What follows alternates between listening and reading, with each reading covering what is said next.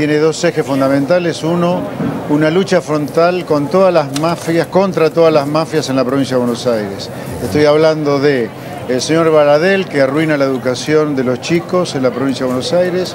Estoy hablando de Suteba, estoy hablando de Huocra, detrás de la cual están todos los herederos de Pata Medina. Estoy hablando del señor Maroseco, intendente, que ha arruinado a Astillero Río Santiago, intendente de Ensenada. Estoy hablando de la mafia de Moyano.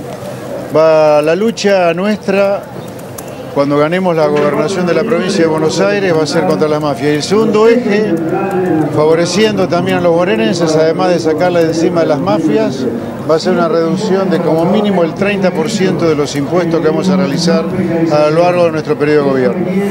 ¿Qué tal, José Luis? ¿Cómo le va? ¿Cómo anda?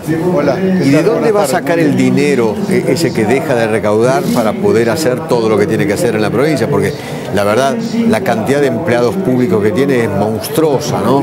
La provincia.